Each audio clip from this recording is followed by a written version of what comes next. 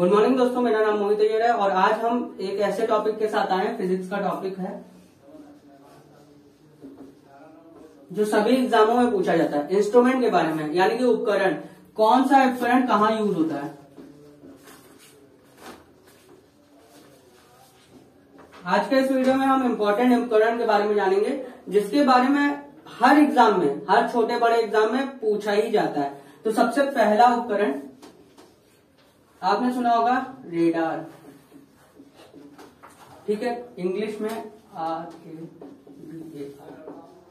ठीक है? रेडार का उपकरण, ये जो उपकरण है एक रेडार है। कुछ ऐसा होता है ग्रीन कलर का। इसके अंदर ये चार ऐसे साइन बने रहते हैं। यहाँ पे एक डॉट बना रहता है ऐसे। तो इस पे क्या है? रेंज फाइंड करने के लिए। ये किसके लिए फाइंड करने के लिए? रेंज को फाइंड करने के लिए। रेंज को रेंज का पता लगाने के लिए।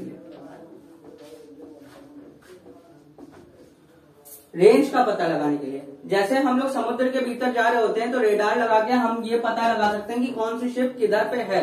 मतलब कि कितने, कहाँ पे है, आगे क्या क्या है। तो अल्ट्रा वायलेट रेट्स पे काम करता है रेडार ठीक है?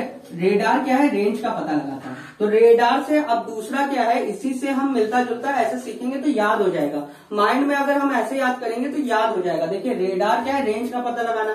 अब हमने ये क्या कहा? समुद्र के भीतर अगर बैठे हुए हैं तो रेडार का इस्तेमाल करते हैं। समुद्र के भीतर क्या होता है? सबमरीन ठीक है सबमरीन होता है।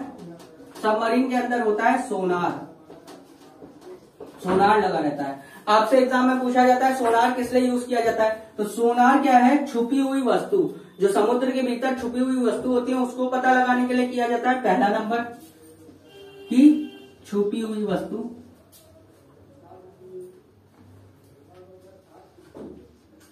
छुपी हुई वस्तुओं को? छुपी वस्तु को? कहाँ पे? समुद्र में। ये याद रखिएगा, समुद्र के भीतर जो छुपी हुई वस्तु है, उसका पता लगाने का। दूसरा, ये भी ऑप्शन में दे सकता है डिस्टेंस फाइंड करने का, यानी कि दूरी। डिस्टेंस मतलब दूरी। किसी भी वस्तु की दूरी, समुद्र के भीतर की वस्तु की दूरी कितनी है दूरी, वो फाइंड करने के लिए हम सोनार का यूज़ करते हैं। तो एग्ज़ाम में ये पूछा जाता है सोनार किस लिए प्रयोग होता है? तो छुपी हुई वस्तुओं को प्रयोग करने के लिए समुद्र के भीतर छुपी हुई वस्तु या उसकी डिस्टेंस अब एक और क्वेश्चन इसी से सोनार से बनता है, इसका फुल फॉर्म होता है। ये सोनार एक उपकरण है, लेकिन इसका फुल फॉर्म होता है। एस ओ दोनों से होता है साउंड एन से होता है नेविगेशन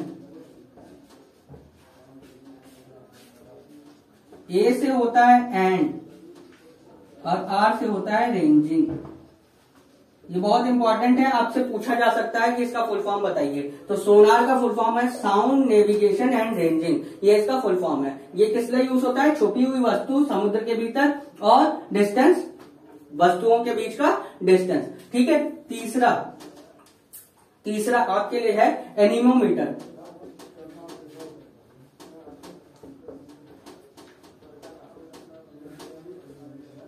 एनिमोमीटर, ठीक है? एनिमो, ये एनिमो, एनीमो मीटर, एनी ए से आ रहा है, यहाँ से आप याद करेंगे ए से एयर एयर एयर का बारे में, ठीक है? एयर इससे ए से आप याद रखेंगे एयर तो एयर का दाब पता करने के लिए प्रयोग होता है एनिमोमीटर, यानी कि हवा का दाब, हवा का जो दाब होता है, वायु का जो दाब, गति होती है वायु एयर मतलब होता है वायु वायु की गति मापने के लिए एनिमोमीटर का प्रयोग करते हैं। वायु की गति नापने के लिए ये करते हैं। तो अब पहले तो आपने क्या पढ़ा? रेडार रेंज का पता लगाने के लिए। सोनार छुपी हुई वस्तु, जो समुद्र के भीतर छुपी हुई वस्तु के लिए। दूसरा क्या इसी का है? डिस्टेंस दूरी, यानी कि दूरी, वस्तु की दूरी। समुद्र के भीतर कितनी दूरी है, वो पता लगाने के लिए भी सोनार का यूज़ होता है। एनिमोमीटर क्या है? ए से याद रखिएगा एयर माइंड में आ जाएगा एयर एनिमोमीटर लिखा है ए से होगा एयर एयर मतलब होता है वायु वायु की गति। ठीक है? इसी में एक और कॉन्सेप्ट है, चौथा वाला। फेरोमीटर फेरोमीटर अभी हमने यहाँ पे बात किया था समुद्र से। तो यहाँ पहला क्या है? रेंज का पता लगाने के लिए समुद्र के भीतर हम लोग सबमरीन चलाते हैं, उसके अंदर रेंज रहता है रेडार रहता है रेडार से वो लोग पता लगाते हैं कितनी दूरी पे क्या क्या है कौन कौन से शिप है कौन कौन से नहीं है कौन कौन सी मछलियाँ हैं कौन कौन से वेल है, इसका पता लगाते हैं। सोनार से नीचे छुपी हुई वस्तुओं का पता लगाते हैं। पेरियोमीटर से गहराई का पता लगाते हैं।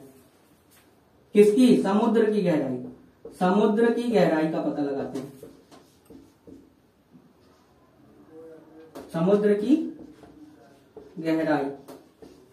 समुद्र की गहराई का पता लगाने से फेरोमीटर का प्रयोग किया जाता है। फेरोमीटर एक ऐसा उपकरण है जिससे समुद्र की गहराई पता लगती है। तो ये समुद्र से रिलेटेड एक ये टॉपिक है, ये एक टॉपिक है, ये एक टॉपिक है। ये तीन टॉपिक आप एक साथ याद करिए।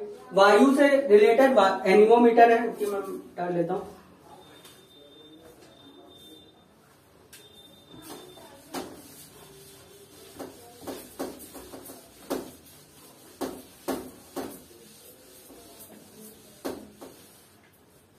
अभी मैं रिवाइज करवा दूँगा अच्छे से। तो जैसे देखिए समुद्र समुद्र से रिलेटेड एक तो है रेडार पहला। दूसरा है सोनार रेडार सोनार और फेरो फेरोमीटर ये क्या है रेंज पता लगाने के लिए? ये क्या है छुपी हुई वस्तुओं को पता लगाने के लिए? ये क्या है आपकी गहराई नापने के लिए? ये हो गया समुद्र से रिलेटेड अब आता है एयर से रिलेटेड यानी कि वायु से रिलेटेड वायु से रिलेटेड क्या है? आपको अभी हमने बताया था एनिमोमीटर। एनीमोमीटर। ये क्या करता है? वायु की गति बताता है कि कितना तेज हवा चल रही है, कितनी तेज वायु चल रही है। दूसरा होता है बैरोमीटर। ये तो सबको पता होगा। ये वायुमंडल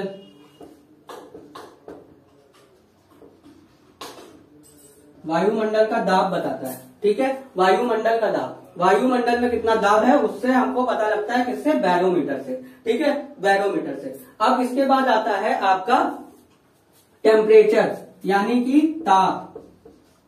ताप से दो रिलेटेड है। एक तो आपको जो पता है, वो थर्मोमीटर है। अब देखिए, आपको ये दोनों पता चल गया है। एक तो थर्मोमीटर है, जो घर में थर्मोमीटर यूज़ करते हैं, ताप का पता लगाने के लिए।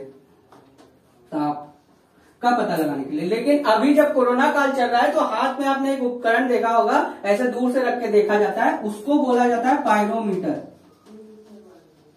अब ये किस लिए? उच्च ताप का। उच्च ताप को पता लगाने के लिए हमें पायरोमीटर का इस्तेमाल करना है और नॉर्मल टेम्परेचर को पता करने के लिए थर्मोमीटर। ये पहले इस्तेमाल होता था, अब पायरोमीटर इस्तेमाल होने लगा ये क्या है? वही है जो ऐसा कुछ होता है। गन टाइप का होता है ना, यहाँ पे यहाँ पे एलईडी बॉक्स लगा रहता है, यहाँ पे 300 200 दिखता है कैलविन में दिखता है। तो ये जो पायरोमीटर जो आजकल लगाते हैं, जो आप देख रहे होंगे कि अभी कोरोना काल चल रहा है तो ये चीज़ लेके हर जगह आपको ये इंस्ट्रूमेंट एक मिल रहा होगा, उसका नाम है पायरोमीटर उच्च ताप को पता लगाने के लिए। तो आप इस तरह से याद करेंगे कि समुद्र से रिलेटेड ये तीन एयर से रिलेटेड ये दो, ताप से रिलेटेड ये दो, ठीक है? और है। अब देखिए दो और होता है।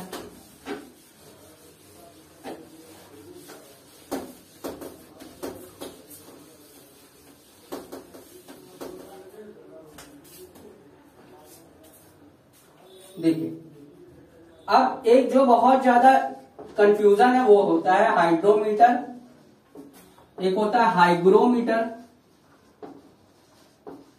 एक होता है पायरोमीटर सॉरी पायरोमीटर हो गया लैक्टोमीटर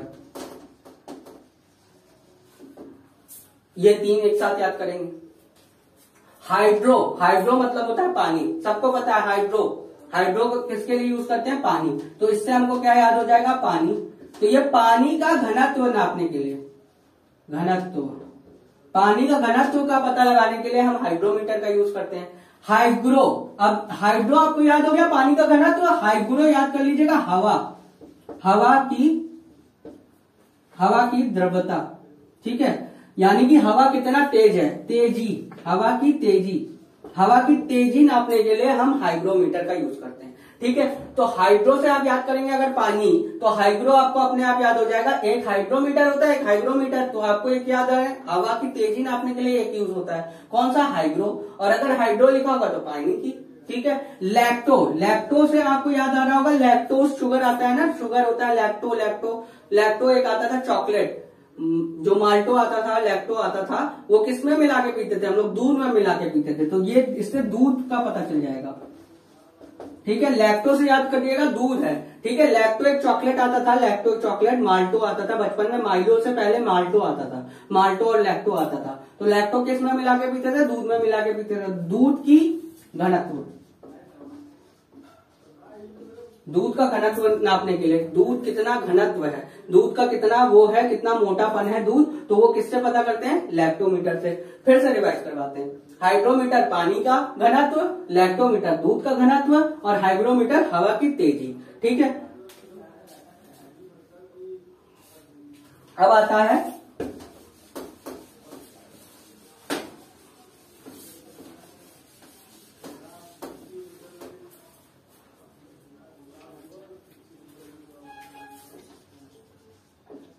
लक्स मीटर।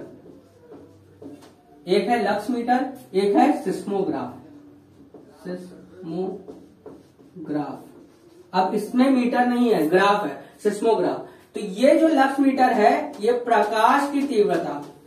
प्रकाश की तीव्रता। ये तीव्रता से रिलेटेड है। तीव्रता। ठीक है? तीव्रता। प्रकाश की तीव्रता नापने के लिए हम किसका इस्तेमाल करते हैं? लक्स मीटर की। लेकिन भूकंप की तीव्रता को नापने के लिए, भूकंप की तीव्रता नापने के लिए हम क्या करते हैं? सिस्मोग्राफ का। सिस्मोग्राफ का प्रयोग किसमें होता है? भूकंप की तीव्रता। और लक्स मीटर का क्या है? प्रकाश की तीव्रता। तो तीव्रता का एक साथ याद कर लीजिए लक्स मीटर और सिस्मोग्राफ। ठीक है, अब जैसे सिस्मोग्राफ हो जाएगा तो आपको एक पॉलीग्राफ याद हो जाएगा।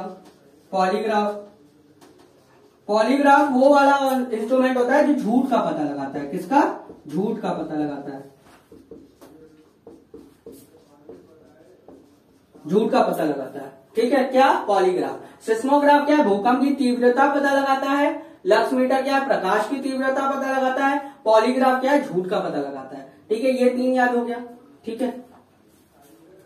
अब दो बचा है।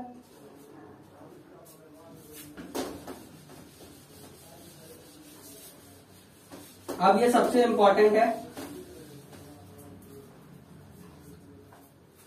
आजकल कोरोना काल चल रहा है तो ये बहुत ज़्यादा है। पूछ सकते हैं। स्टेटस्कोप जो डॉक्टर यूज़ करते हैं स्टेटस्कोप ये हार्ट बीट अभी आपने हृदय का चैप्टर पढ़ा है, उसका बीट पता करने के लिए स्टेटस्कोप का इस्तेमाल करते हैं हार्ट बीट ठीक है? ये बहुत इंपॉर्टेंट है। अभी क्योंकि कोरोना काल चल रहा है तो एग्ज़ाम में इससे मेडिकल टर्म से रिलेटेड ये सब क्वेश्चन पूछ सकता है। पायरोमीटर ज़रूर पूछ सकता है स्टेटिस्कोप पूछ सकता है, और जो आप बताने वाला हूँ, वो शायद पूछ सकता है। क्योंकि इसका नाम भी याद करना बड़ा मुश्किल है। स्वीगनो मैनोमीटर स्विग्नोमैनोमीटर ये आपने देखा बहुत होगा, इसको आपने देखा बहुत होगा, लेकिन नाम आप पहली बार सुन रहे होंगे। ये बीपी नापने की मशीन नहीं होता है, जो यहाँ पे हाथ में बाँध के पंप चलाते हैं, वही है ये। उसी का नाम है, ये बहुत इंपॉर्टेंट है मोस्ट इंपॉर्टेंट टॉपिक है। ठीक है, ये याद रखिएगा, ये मोस्ट इंपॉर्टेंट है बीपी नापने के लिए। ब्लड प्रेशर इसका मतलब होता है ब्लड प्रेशर बीपी का फुल फॉर्म होता है ब्लड प्रेशर यानी कि दाब। ब्लड का दाब। सॉरी ब्लड प्रेशर नापने के लिए यूज़ करते हैं। कौन सा?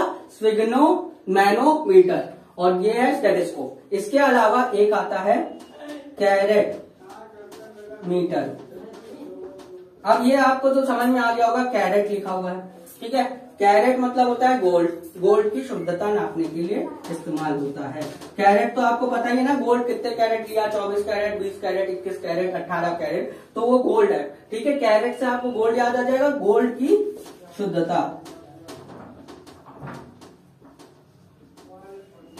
गोल्ड की शुद्धता नापने के लिए कौन सा यूज़ होता है? कैरेट मीटर ठीक है? तो ये सारे जितने भी मैंने पढ़ा है, वो बहुत इंपॉर्टेंट है। सोलह नाम ऐसे हैं छाट के मैंने आपके लिए दिया है। आपको अगर अच्छा आया होगा तो प्लीज़ कमेंट करके बताइए। मैं और लेके आऊँगा ऐसे ही वीडियो और आपको और सिखाऊँगा कि और क्या क्या नाम होते हैं। लेकिन ये मोस्ट इंपॉर्टेंट है। सबसे इंपॉर्टेंट ये याद ज़रूर कर लीजिएगा स्पिग्नो मैनोमीटर ये क्योंकि ये ऐसा अटपटा नाम है, पूछ भी सकता है, इस तरह से भी पूछ सकता है ब्लड प्रेशर नापने वाला कौन सा इंस्ट्रूमेंट है?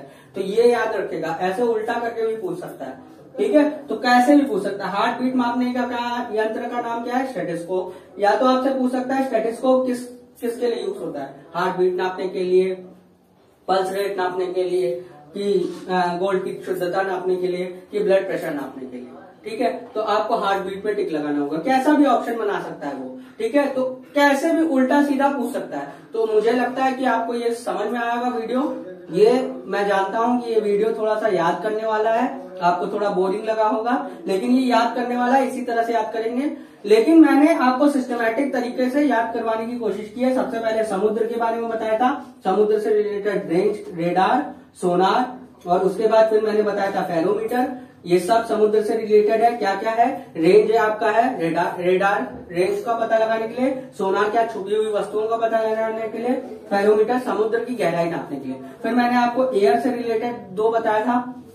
एयर से रिलेटेड बैरोमीटर एनेमोमीटर बताया था। एनेमोमीटर क्या है? हवा की गति फाइंड करने के लिए, यानी कि वायु की गति फाइंड करने के लिए बैरोमीटर वायुमंडल दाब को पता करने के लिए। फिर आपको एक हाइग्रोमीटर हाइड्रोमीटर बताया था। हाइग्रोमीटर हवा की तेज़ी। हवा कितनी तेज चल रही है उसके बारे में बताने के लिए आप क्या यूज़ करते हैं? हाइग्रोमीटर। और हाइग्रोमीटर क्या होता है? पानी का घनत्व नापने के लिए। और एक मैंने बताया था लैप्टोमीटर जो दूध का घनत्व नापने के लिए इस्तेमाल होता है। फिर मैंने दो आपको ताप से रिलेटेड बताया था थर्मोमीटर और पायरोमीटर एकदम ऐसे याद करेंगे, देखिए मैंने भी लिखा अभी अभी और मैं आपको पढ़ के बिना देखे ही सुना रहा हूँ, क्योंकि तो उस हिसाब से मैंने सिस्टमेटिक वैसे ही याद किया है और आपको भी वैसे ही याद करवाने की कोशिश कर रहा हूँ, क्योंकि तो मैं भी एक छात्र हूँ तो मैं भी इसी तरह से याद करता हूँ। ताप से रिलेटेड कौन कौन से है? थर्मोमीटर और पायरोमीटर थर्मोमीटर जो नॉर्मल होता है, ताप जानने के लिए, और पायरोमीटर उच्च ताप जानने के लिए। उसके बाद मैंने आपसे मेडिकल टर्म से रिलेटेड ये बताया। स्टेटिस्कोप क्या है? हार्ट बीट नापने के लिए। दूसरा क्या है? सिस्मोग्राफ आपका blood blood pressure blood pressure नापने के लिए। अब ये स्पिग्नो मैनोमीटर क्या ब्लड प्रेशर ये सब होता है मेडिकल टर्म से रिलेटेड मेडिकल टर्म से रिलेटेड ये दोनों चीज़ हो गया. मेडिकल टर्म से रिलेटेड आपका टेम्परेचर वाला भी हो गया. एक होता है कैरेट मीटर जो गोल्ड की शुद्धता नापने के लिए ये एकदम अलग याद कर लीजिए लास्ट में. अब तो बच रहे हैं, दो दो और कौन से बच रहे हैं? एक तो आपकी प्रकाश की तीव्रता नापने के लिए, ठीक है? प्रकाश की तीव्रता नापने के लिए. ठीक है? आप पीछे रिवाइंड कर लीजिएगा। प्रकाश की तीव्रता नापने के लिए एक था और एक भूकंप की तीव्रता नापने के लिए। तो भूकंप की तीव्रता नापने के लिए था, ग्राफ, जिसमें ग्राफ आ रहा था, उससे मैंने एक पॉलीग्राफ बताया था, एक आता, एक आया था स्पिग्नोग्राफ ठीक है? स्पिग्नोग्राफ क्या है? आपका स्पिग्नोग्राफ किस लिए यूज़ करता है? भूकंप की तीव्रता प्राप्त करने के लिए। लेकिन पॉलीग्राफ क्या था? झूठ का पता लगाने के लिए। तो ये कुछ ऐसे 16 वीडियो नाम थे 16 नाम थे, जिससे आपको अच्छे से याद हो जाएगा। मैं जानता हूँ दो तीन नाम अटपटे हैं, उनको अलग से याद कर लीजिएगा लास्ट में। जैसे कि कैरेट मीटर है भूकंप की तीव्रता और प्रकाश की तीव्रता एक साथ याद कर लीजिएगा, पॉलीग्राफ और कैरेट मीटर एक साथ याद कर लीजिएगा। और सब एकदम सिस्टमैटिक मैंने बनाने की कोशिश की। अगर आपको ये वीडियो अच्छा लगा होगा प्लीज़ लाइक करिए शेयर करिए कमेंट करिए और चैनल को सब्सक्राइब ज़रूर करिए। धन्यवाद।